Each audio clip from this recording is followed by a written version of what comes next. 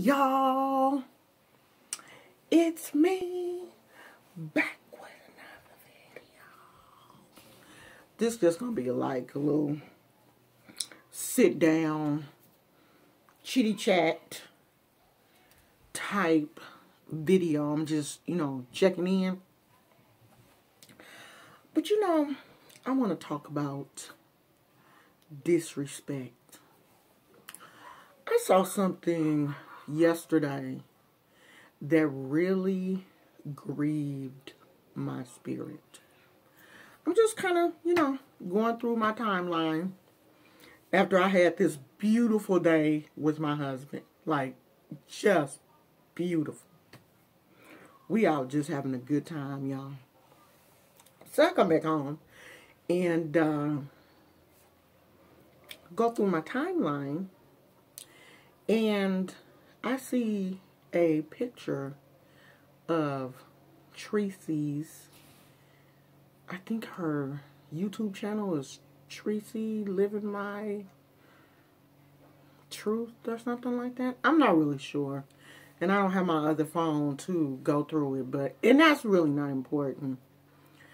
But I see a picture of her deceased mother in her casket. And it's not, it's bad enough that I saw the picture.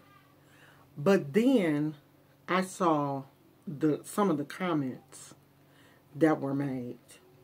So, you know, I went to um, Tracy's channel because you y'all know how subscribers are. Somebody's going to go back and tell her that someone had posted that picture of her mom. And, you know, I went to her channel to see what um, she had to say about the whole situation.